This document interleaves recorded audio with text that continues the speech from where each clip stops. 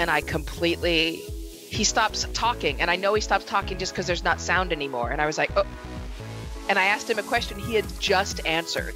So it was clear to all the millions of people listening to NPR that I was not listening. Um, it happens to everybody is what I'm trying to say. But I, what I have found is that if I go into every single conversation saying I'm not going to leave this conversation until I learn something mm.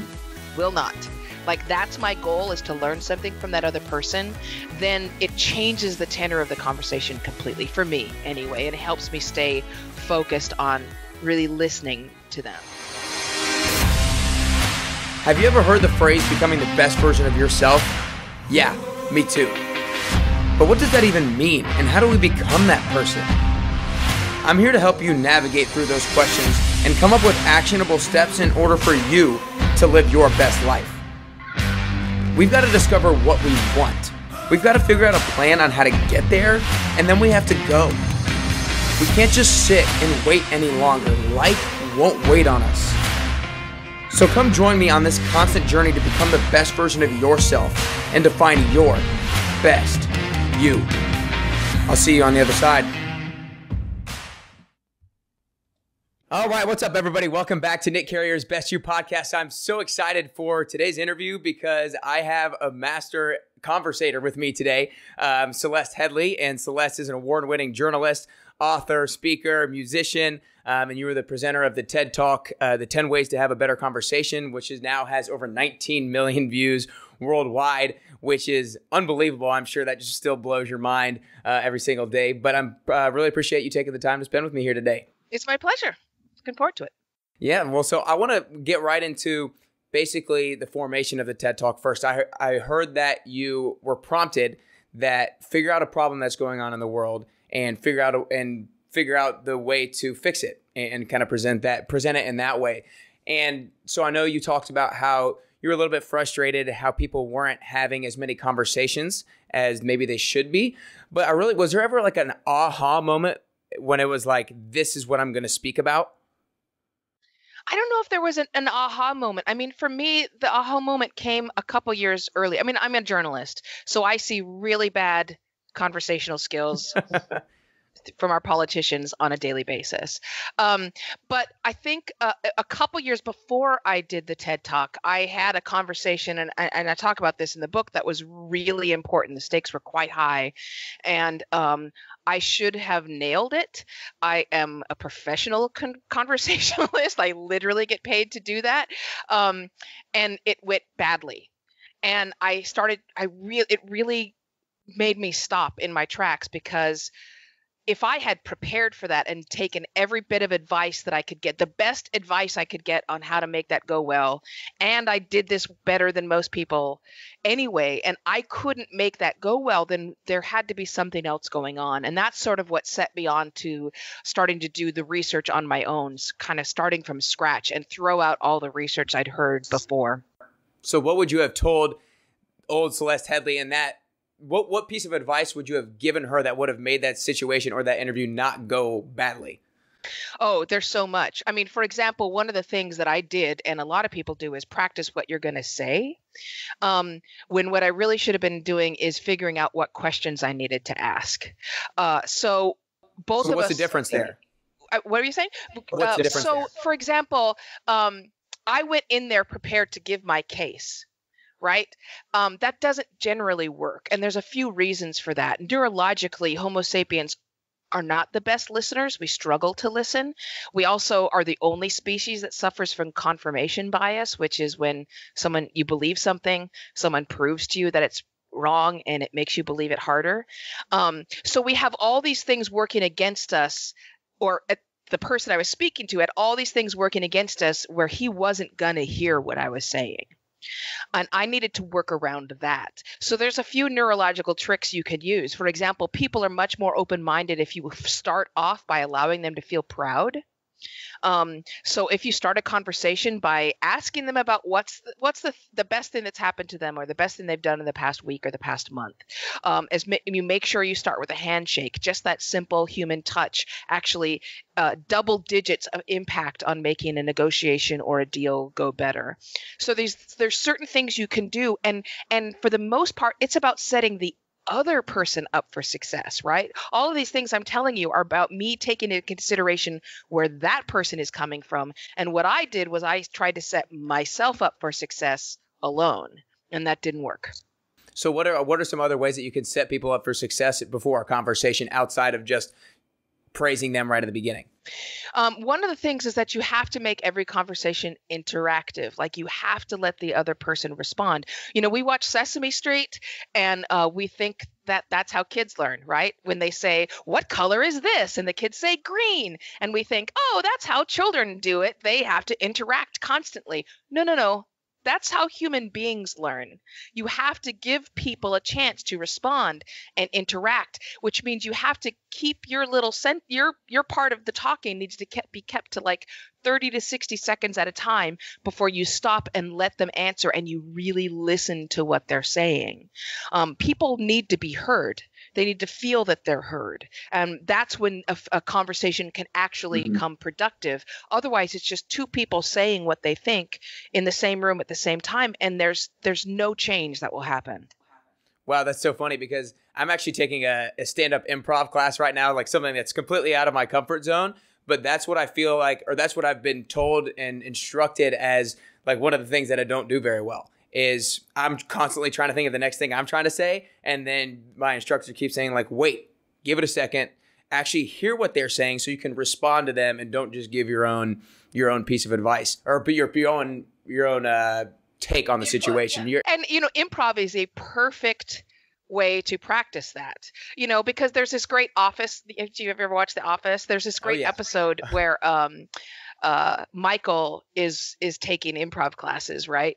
And oh, yeah. every single time he does an improv, he ends up holding a gun. Right? right? So they'll be like, "Oh, here we are at the beach enjoying this sunny day," and he'll like whisper in their ear, and the guy will be like, he says he's holding a gun, right? So he's literally not giving the other person a chance to have their input, and he's not being changed by their input. And so he's ruining the whole thing. Mm-hmm. Right. And so this all goes kind of touches on the fact that when somebody's talking to us, a lot of time we're just formulating our response and we almost miss like the whole second half of whatever they say or the end of what they say. So how do we take a step back and focus on actually being present on what they're saying and not formulating the thoughts in your response beforehand. So, first, I want to say we don't just miss the end of what they're saying, we miss most of it. Most people come up with their response within five to 10 seconds, and then they hear nothing else of what's said. Um, it's Stephen Covey always said, you know, we're always listening uh, with the intent to respond, not with the intent to understand. So, it's going to happen to you. The thing that you can't do is say, "Well, I'm not going to I'm not going to do that anymore." You there's no such thing as clearing your mind that is BS. Um, you can't clear your mind. Your mind is constantly providing you with context and information and data and statistics and memories to try to help you understand all the inputs that are coming in the sounds, the smells, what the other person is saying. And the problem is we get distracted by what's going on in our head and we follow that and we, we grab onto it and we just hold onto it and we hear nothing of what they've said because that'll distract us from our thought Mm-hmm. we we have the wrong distraction here. Your thought is the distraction, not what they're saying. So what you basically have to do is train your mind to let those thoughts come in and let them go out. Um, frankly, I I don't know of any other way to do that other than mindfulness meditation, which is literally mind training. Um, but that's is in essence what you are doing. You are allowing these thoughts to bubble up in your mind and not focusing on them and returning to what it is that the other person's saying. Hmm. I don't know. The first thing that came to my head when you were when you were saying that is that maybe you can channel your energy of your thoughts towards always what's presently being said. And I don't like I don't even know if that makes sense, but just like always focusing on channeling whatever energy is going on in here towards like the next word that they're saying instead of letting the energy up here be based on what has been said in the past. Yeah, and you're you've just described mindfulness meditation, right? Because when you're meditating, you're challenging your channeling your energy and just paying attention to your breath and letting all this stuff go past. Now you use that exact same practice to focus your energy on what the other person is saying and let all this other stuff go past. It's the exact same practice. You don't have to call it meditation if you don't want to. you, can, I, you can you can call it channeling energy. It doesn't matter. It's just that's basically what you're trying to do. And and the thing of it is is that it does cost energy. It does take effort.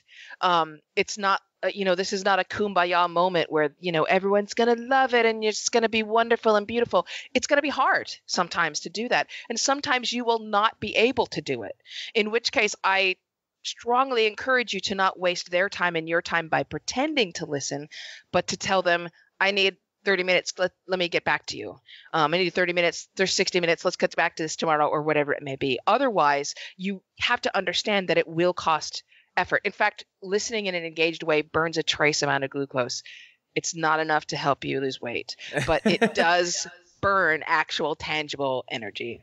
I bet it does. And i think it's very what like the topic that we're talking about right now is very translatable to interviewing, but almost like in a little bit different sense because whenever you I mean you've interviewed hundreds and thousands of people or whatever, um, but you prepare beforehand and you have kind of a way that you formulated a way that you think the interview is going to go, and at least you have questions that you're going to ask. So how do you stop from thinking about that next question of that you're going to ask and just completely be present because I think it is a little bit different in an interview than just a regular conversation because you have a question that of an idea or an idea of a question that you want to ask. Yeah, I mean, basically, an interview is a is a formal and excellent conversation right? Like it should be structured and go beautifully. But at its essence, it's a good conversation.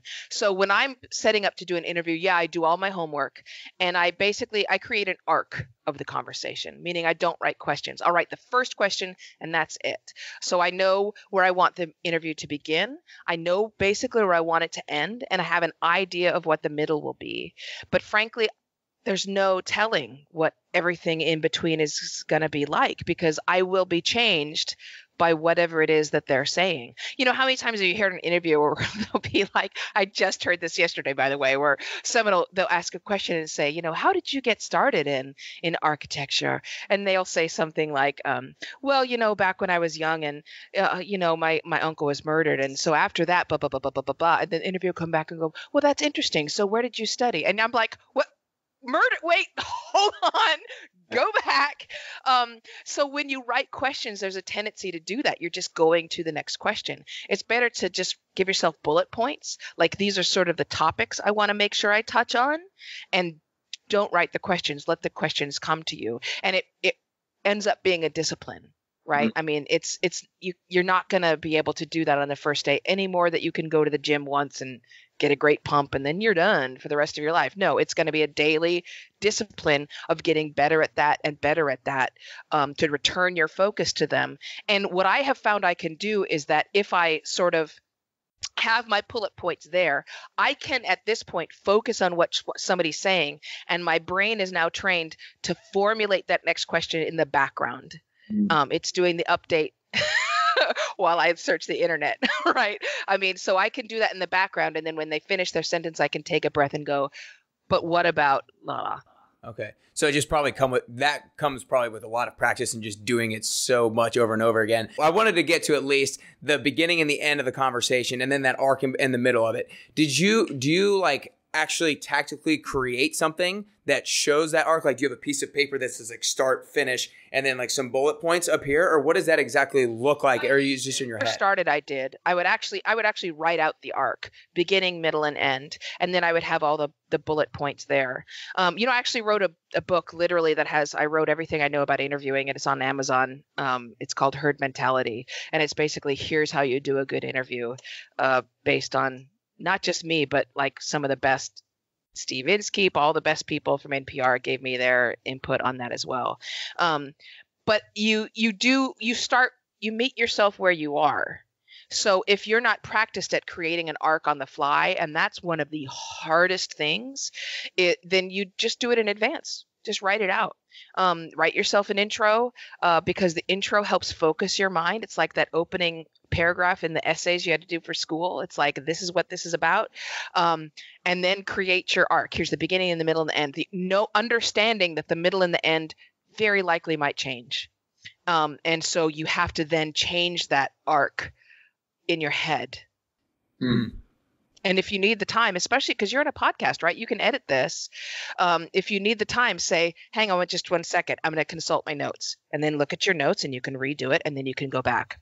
Yeah, cool. Um, so you said that I've heard you say that one of the number one questions that you get all the time is how you can or how people like how can I get other people to talk to me differently because people Yeah. blame bad conversations on other people and and there's so many different instances, right? People blame a bad when they go on a date and it was like, oh, they're just someone who can't have a good conversation and probably people in business do that all the time like i didn't make the sale because the other person wasn't a good conversator so how do we start taking ownership and responsibility for the level of conversations that we have Yeah, fewer than one in five people uh, blame themselves when a conversation go bad. Fewer than one in five, um, and that math it doesn't really work.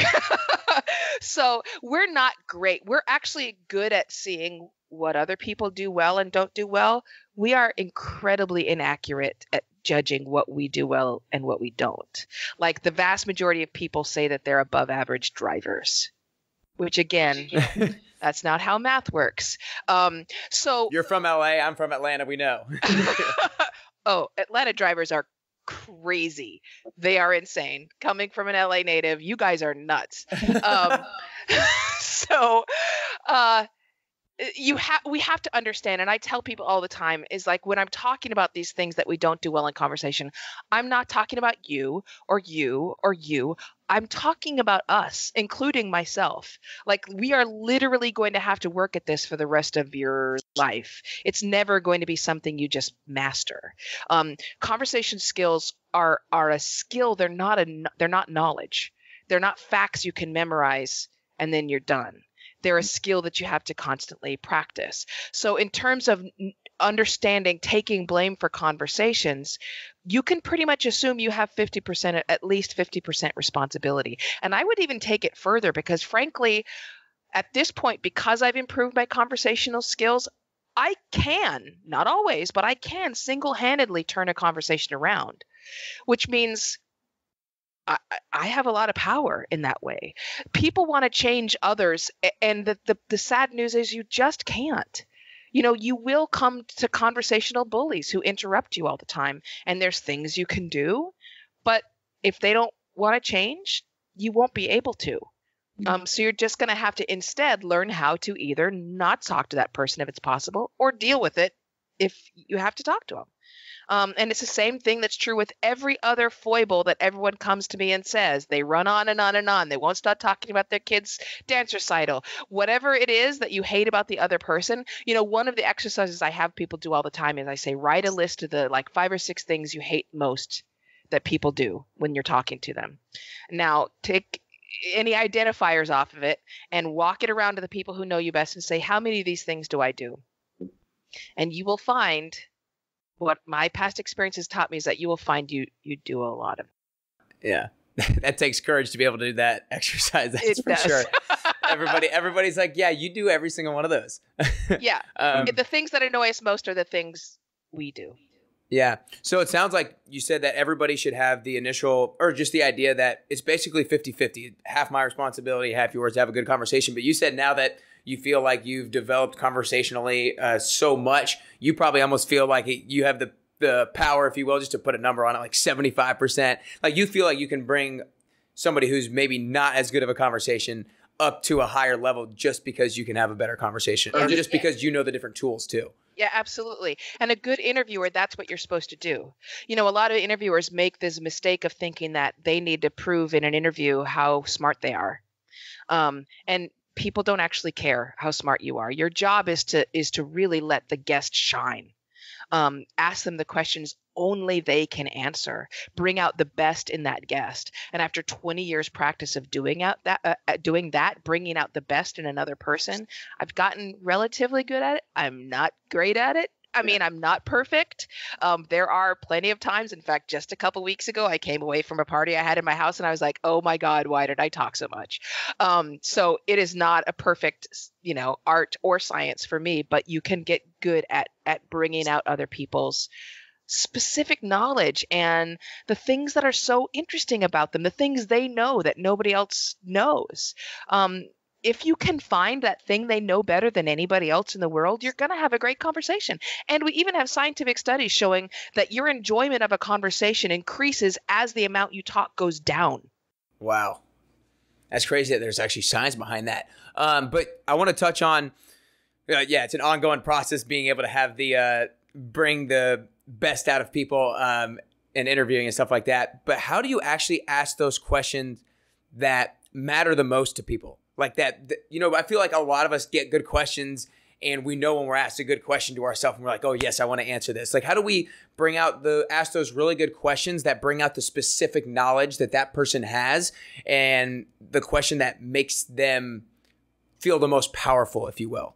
So I think one of the things to do is to make sure you're always trying to ask questions that haven't been asked before. Yeah. Um, and the other thing is make sure you're actually asking them questions about the thing they know best. I'm constantly surprised by the people who interview authors and ask them about their family life and not about writing or the people who get a musician on their on them and ask them about politics or anything else except what kind of guitar do you play why do you play that guitar? Um, and they'll say something you know i, I somebody will say something somebody was inter- interviewing the Keb Mo yesterday and one of the best living delta bluesmen lives in nashville um, now uh, delta bluesman alive. Um, and he says something about the delta blues and the first question that occurred to me was like wait tell me what the delta blues is yeah. What's the difference? He was talking about being in Chicago. I'm like, well, wait, so what exactly is the difference between Chicago blues and Delta blues? Why do you play that guitar that you've had for 45 years? Let them talk about the things they love. Um, ask, you know, I say this all the time. Questions are so powerful, and you can use the brain to your advantage. You know, uh, the Harvard study in 2012 showed that talking about yourself uh, activates the same pleasure center in the brain as sex and heroin. It's inherently pleasurable to talk about yourself and the things you know and the things you like. So if you're talking to a guest, let them talk about the things they know and they like and and let them be questions they know the answer to about something they care about. Mm-hmm. It's really it's it's quite that simple. He want you know, he's sitting there talking about growing up in Compton I mean, how do you not have a billion questions about growing up in Compton and coming a becoming a Delta blues man, right? And then what was that conversation like with the other African Americans in when he's 20 and he's having to explain to his friends who are all listening to NWA why he's listening, you know, to 100 year old blues? Like those are the questions I I want to ask that he's never been asked before. I find myself being able to do that better when I'm doing a podcast interview. If I try to take out of my mind that I'm doing a podcast interview and that I'm more having a conversation. And this whole thought process made me think about what I was going to say when I blanked out. With the biggest tool for me to realizing the faults that I have in interviewing is being able to go back and listen to the times where they're talking about something and then I bring up something completely else and I'm like, what was I do? What am I thinking? Well, I was not listening at all. Um, but I do the best at that when I put myself just trying to learn more about them instead of actually putting myself in a podcast interview. And you can make that a daily practice. Um, you know, in my book, I try to be as honest as possible, and and one of the things I I talk about is being on a national show, and I'm sitting there interviewing a BBC reporter, and I completely he stops talking, and I know he stops talking just because there's not sound anymore, and I was like, oh. And I asked him a question he had just answered. So it was clear to all the millions of people listening to NPR that I was not listening. Um, it happens to everybody, is what I'm trying to say. But I, what I have found is that if I go into every single conversation saying, I'm not going to leave this conversation until I learn something, mm. will not. Like, that's my goal is to learn something from that other person, then it changes the tenor of the conversation completely, for me anyway. And it helps me stay focused on really listening to them. Yeah, no, I think that's a powerful like actual tool and tactic that, that you can use to just put that into your brain before going into it instead of just like thinking i don't know but yeah i think that's awesome. Um, but we talked we mentioned it or you mentioned it earlier about how we have confirmation bias when we listen and also when we watch things we have that confirmation bias i think. So and i, I feel like i've experienced the same thing in doing interviews is that i hear things much louder that i agree with or that i enjoy talking to or talking about then I do the things that I maybe don't agree with or that I just like am not as fascinated in. So how do we drop being a biased listener? Um, I mean, I think that the the I didn't I had to learn how to do this, right? Because a journalist, you're constantly interviewing and talking to people that you don't like and you don't agree with. And and one of the examples I use in the book is, you know, I'm a mixed race person. My family came was owned as slaves on a plantation in Georgia, in Milledgeville. You're from Atlanta, um, and so during the the recent, the most recent big discussion over the Confederate flag, I had to interview a lot of people sons of Georgia, sons of Confederate veterans. Um, and I'm clearly not going to change my mind. I mean, I think that's everyone can get that. But you uh, my point was not for me to change my mind. My point was, you know what? I'm going to go into this conversation. I'm my my goal is to understand where they're coming from better. That's all I want to do. Let me at least try to understand because everyone is making choices because they think that's the best way to move forward everybody. Mm-hmm. and it doesn't i'm not talking about serial killers. Everyone immediately goes straight to the extreme. No i'm talking about regular people. They're all making choices based on what they think is best for themselves and their family.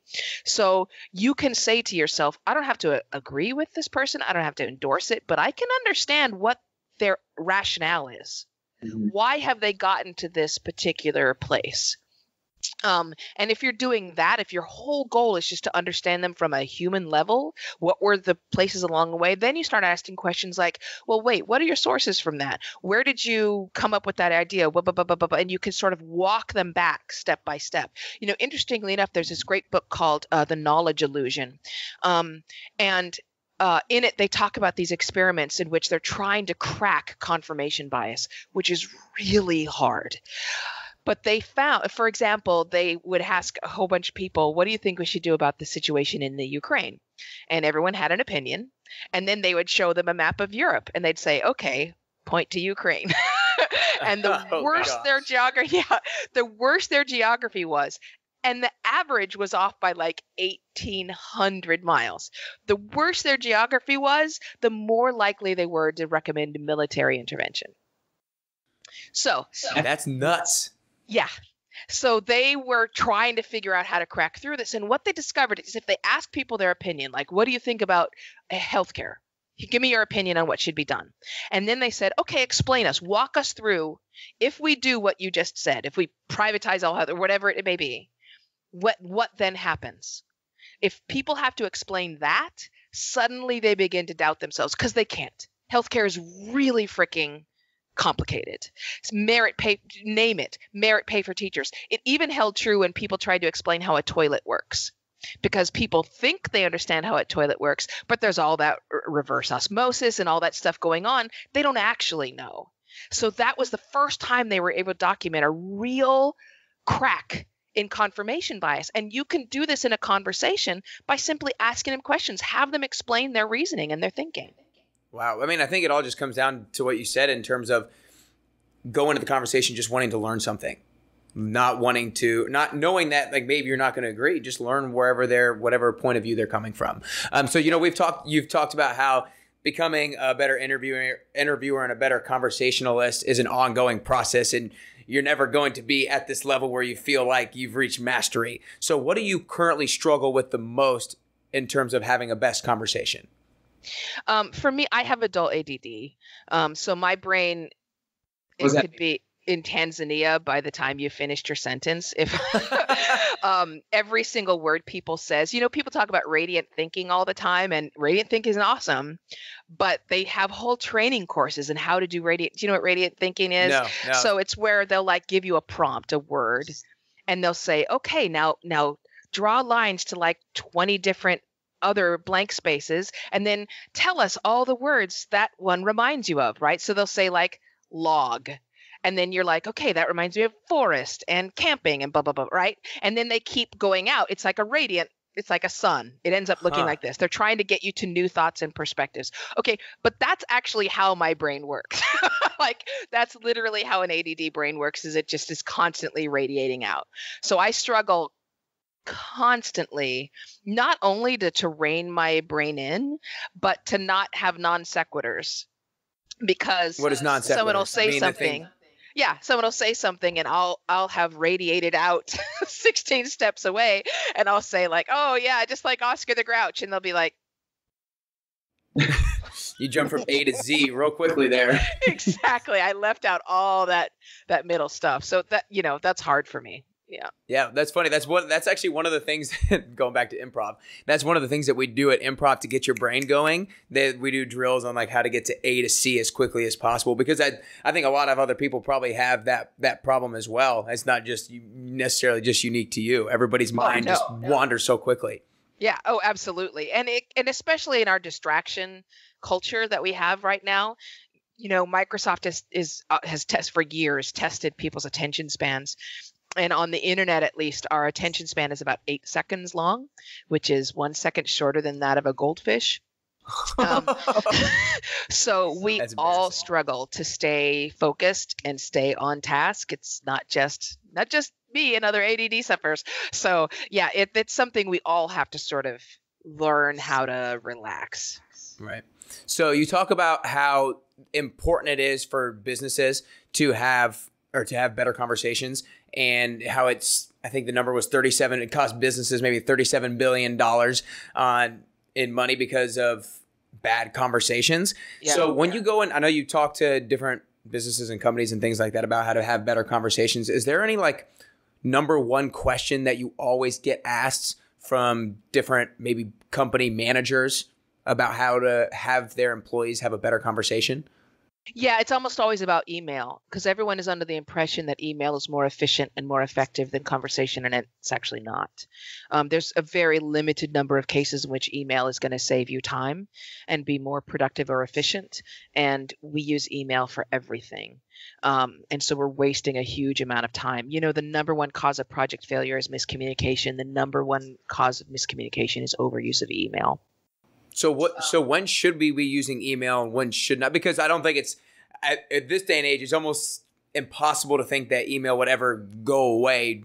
So what? Like, what would be the benefit, or what should we use email for, and what shouldn't we? So there's four situations, maybe five, in which email is more efficient than the phone call. Um, they are if you have uh, attachments to send, uh, if you have a very very long missive or message to send, um, if you have an agenda or list of any kind. Here's what's coming up in the meeting. Here's the tasks that need to be done. Any any version of that um, uh, is better in email. And the last one would be praise. Uh, because praise actually gets the same bounce, emotional bounce for people as if you did it in person. And it's possible that's because people like to read it again and again and to forward it on to other people. Um, pretty much, I mean, obviously there's an exception to every rule, but almost everything else is better over the phone. And I, this is not, again, this is not me trying to be, uh, you know, huggy, touchy. This is just scientific. Human beings have only had text communication of any kind for a really short period of time. We have evolved over hundreds of thousands of years to be the most efficient communicators through the voice and the ears on the planet. Mm-hmm. There is information that is relayed through the, the sound of our voice, which we can't even track. And people know this instinctively. Almost everyone has had the experience of calling their friend and saying hi, and their friend goes, Hi, and you say, What's wrong? Mm-hmm. That's how fast information is relayed through the voice that cannot be replaced through an emoji or any word. I, I asked a a a few scientists, do you think at some point text might replace the voice as a better communication tool? And they said, yeah, maybe in like five to 10,000 years, it's possible. your your voice is just it is the most sophisticated efficient communication tool you have um, and email can't replace it Mm. Yeah. I think a lot of people, I think that's why a lot of people get so tripped up though, is because they try to th- think of the things that different conversations have sparked in them and they try to throw that into text. So like for example, if someone gets a text from like a significant other, they start to read so much into the text because they can sense some of those things if they're actually having a conversation with that person. And then they, they, they try to just put it onto the text, but it is probably 99% of the time completely wrong. It's wrong. And part of the reason it's wrong is because you're reading it in your own voice. Mm. That's how you would read that email, but you're not them. That's how the miscommunication comes in. You might use the word uh, angry and it means angry, but the other person uses angry and it means like, ah, I'm so angry. Uh, you know, Uh, you're reading it in your voice. If Mm. you sent yourself that email, you would understand it completely. You didn't send yourself that email, so you probably don't understand it. Right. So I'm I'm sure that I'm sure that some of these businesses are starting to realize that email is costing them money. Is, are any businesses right now doing anything to actual actually implement policies for their employees in terms of like this is when you should email somebody and this is when you should call somebody? Um, there are some businesses. I, I'll tell you, I, I went and worked with the the real estate company Redfin, um, and after I gave this, you know, talk on when to use email and when not to, the CEO came back and said, "I think you just saved me more than a million dollars." Um, yes, people are be- starting to begin to, but frankly, some of the worst offenders are the C-suite. Um, they won't give up their email, and as long as the executives won't give up email, nothing is going to change in your business. You can't lead through email. That's the bottom line. You can't do it. And so it has to start at the very, very top. Yeah, I mean, I think that's just culture in general. Everything has to start from from leadership and then trickle down from there. Um, is there a question that you wish more people would ask you about when you like when you go speak or anything like that? Is there a question that you wish more people would ask you that they don't? So I want more people to talk about um, the fact that they're not introverts. Um, I really need people to get this message because it's become kind of fashionable lately to think of ourselves as introverts. And I hear everyone going, Well, I'm kind of an introvert, blah, blah, blah, blah, blah. And you're probably not. Um, there's introversion and extroversion are a spectrum, right? At the very extreme ends are introverts and extroverts. They're relatively rare. The vast majority of people are ambiverts. Ambiverts are in the middle of the spectrum. Sometimes they enjoy being among a group of people. Sometimes they need to be quiet, sitting on the couch and watching Netflix. They're more adaptable. They're more likely to be able to go to a party when they don't feel like doing it and actually be like, okay, and then engage. There are healthier. Um, and that's the majority of the human population. The problem with people thinking of themselves as introverts when they're not is, first of all, they're using it as an excuse to avoid social interaction. And it becomes a really bad vicious cycle. So someone who's not an introvert says, "I'm an introvert, and so I'm gonna can't I'm not gonna go out to the movies or whatever to, with my friend. I'm gonna stay home and watch Netflix because I really need alone, need to be quiet right now." And as they do that over time and isolate themselves, their social skills will then begin to degrade which makes them less likely then to engage socially. And the problem is is that loneliness and social isolation will literally kill you. Loneliness degrades your internal organs. It makes you more likely to suffer from cardiac disease. It shortens your life by more than a decade. Um, it will literally kill you. In fact it's so dangerous the uk just created a new minister post of uk the minister of loneliness so I, I have to get to people to stop saying, oh, I'm an introvert, and then isolating themselves because they're following that along. Number one, you're probably not an introvert. And number two, even if you are an introvert, you have to get out and have social connection. It's just harder for you. So how do you get people to stop saying that they're an introvert? Is it just revealing to them how much it's hurting them? I don't know. I wish I had that answer. Do you know that answer? no, but it's that. I don't. I wish I knew that. I mean, the best thing I can do is just tell you it's really bad for you. It will kill you. But I can, there's other things I can tell you. For example, they can take they have they've they've given people tests, right? Tests on all kinds of cognitive things, math and history and all these tests. And for some of them they would they would have them have a 5-minute chat or 10-minute chat before they took the test. Those people outperformed the others in double digits. Mm-hmm. Your, whether you like a chat or not, your body and brain will respond to social interaction with another person, even a stranger, even if you think you're going to hate it. And we've tested this over and over. Your endorphins go up, your serotonin and oxytocin level goes up, you are a better thinker, you're more creative, you're less stressed, your cortisol level drop. I mean, physiologically, emotionally, neurologically, you will respond nine times out of 10 positively to a social interaction. It's not going to go well. There's two ways in which a conversation has a negative impact, and that's if it's A, hostile, or two, people are offering you advice. um, but every other time, your body will respond. Okay. So you talk, you know, your TED talk is called 10 Ways to Have a Better Conversation, but I'm really interested in how can you best really connect with somebody on a deeper level. So how what are the best ways to really connect with somebody? Because I think a lot of us have the feeling after leaving a good conversation after leaving a really good conversation it was like we just clicked. We just had a good connection. So how do you have a deeper connection with somebody through a conversation? Um, ask a lot of questions. And don't ask deep questions. Like some of the worst things you can do is ask like you know if you, you know, didn't have to work ever again, what would your ideal day look like? Come on. That I feel like first date que- I feel like it's a first date question. Yeah, it's those are all so dumb. That's a bad idea. Um because a you're not they're not they're giving you an, a response that they think is going to make them look good. That's not a real response.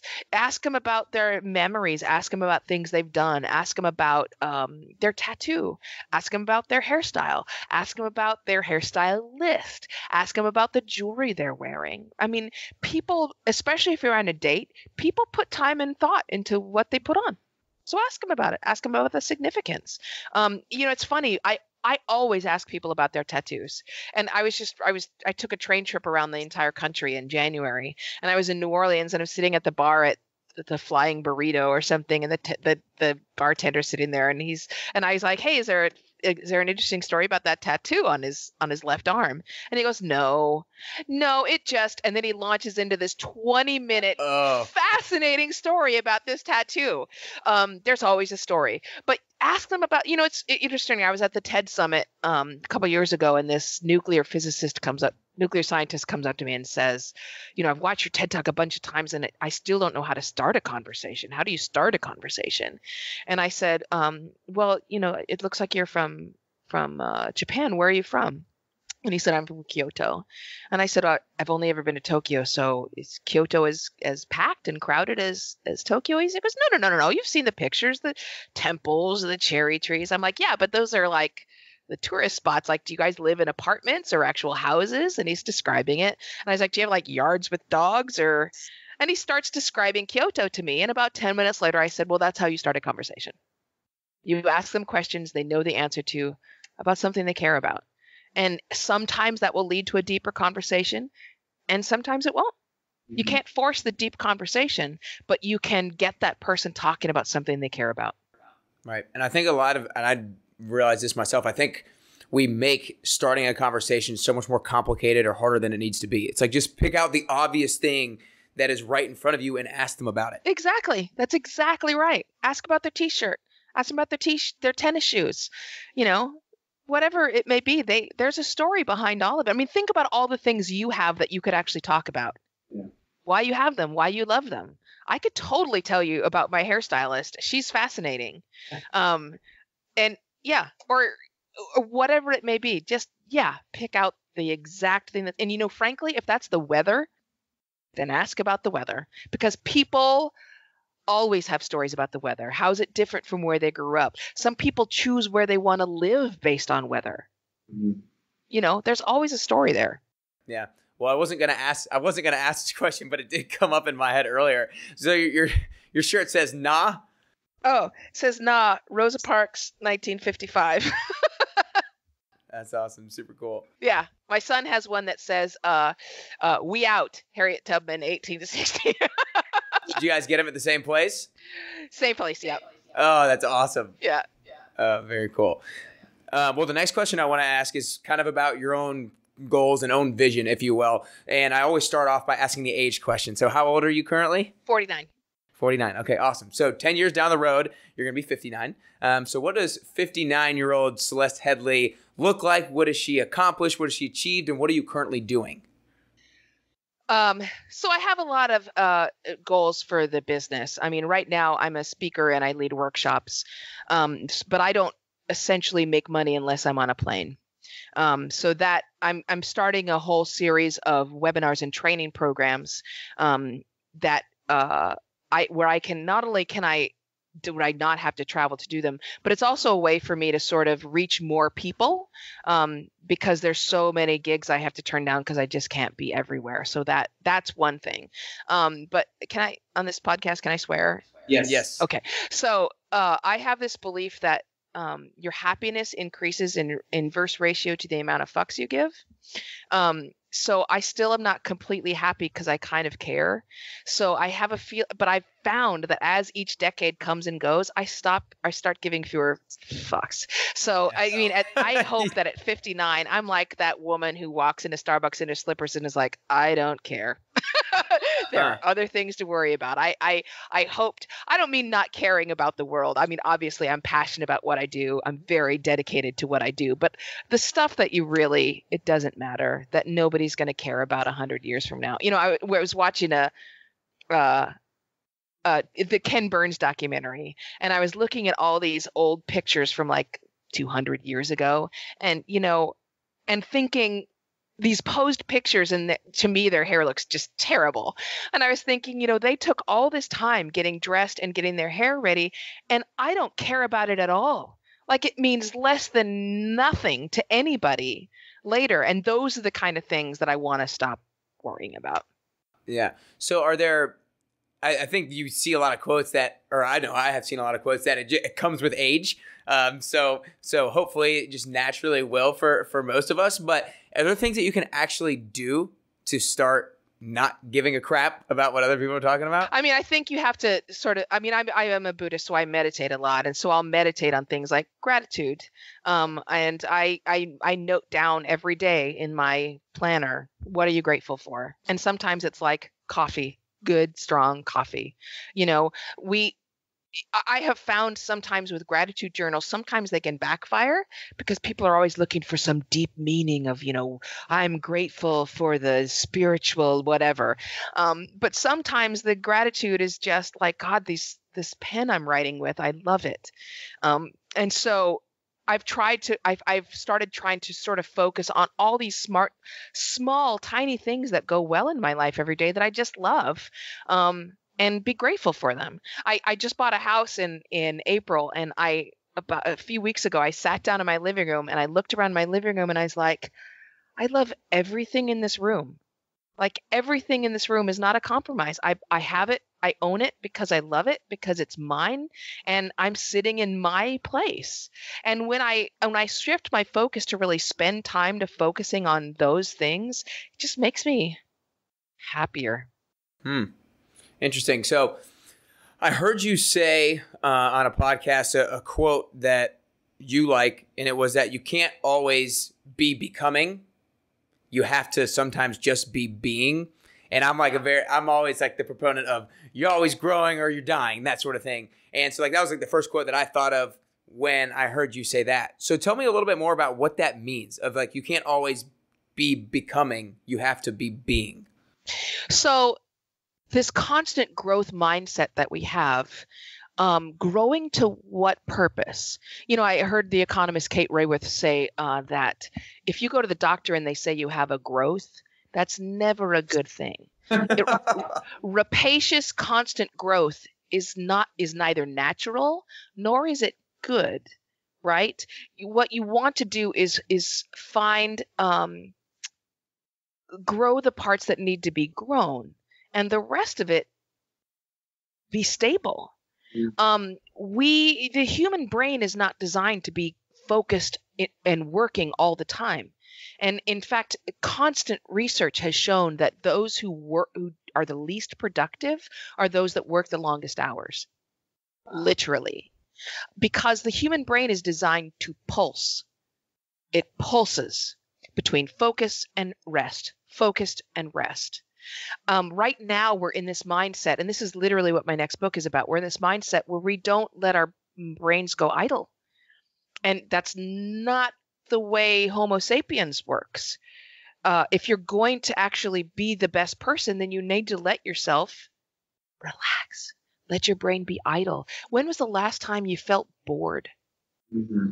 And yet, boredom is an incredibly fecund, fertile time for your brain. That's where in the background your brain is sort of sifting through all the stuff it's learned over the past few days. That's when it starts to make that's when it starts doing radiant thinking. That's when it starts to make connections that are unexpected. Mm. That's when you have some of your best new ideas is when you let your brain go idle on the surface and in the background your brain never stops working. It's it's doing stuff.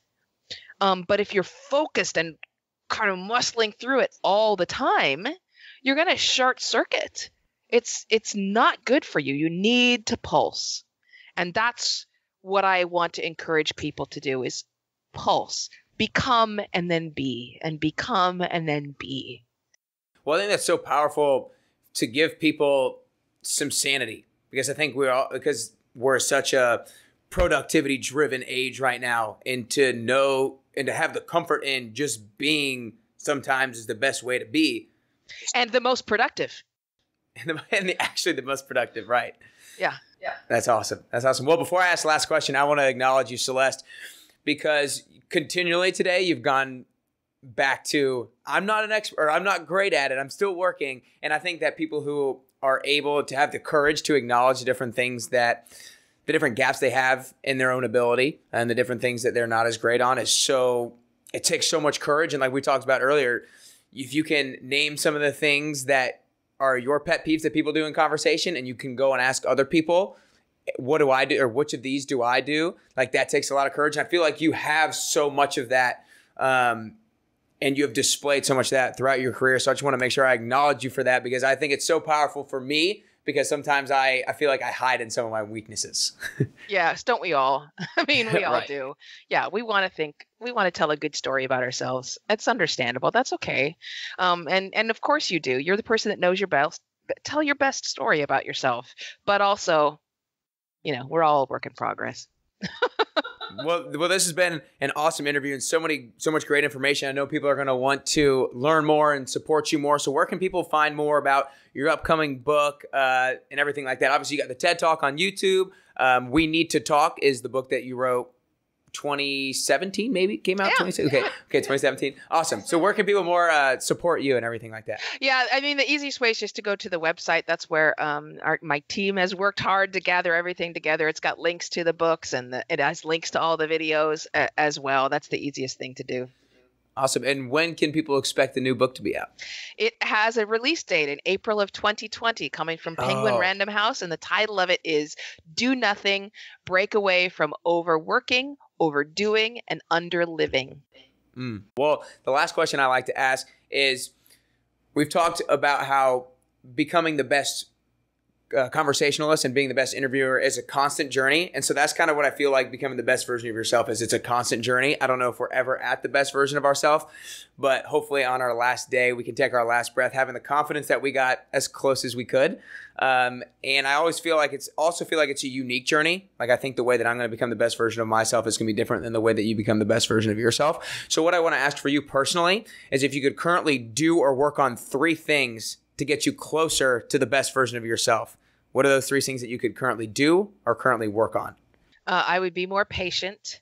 Uh, that is what I, I'm not great at being patient. Um, I would also uh, take more time off. I mean, there's a reason I've written this book is because I'm the worst.